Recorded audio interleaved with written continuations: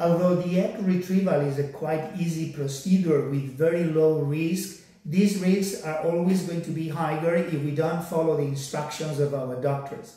We usually recommend to stay at home for 24 hours after doing the egg collection.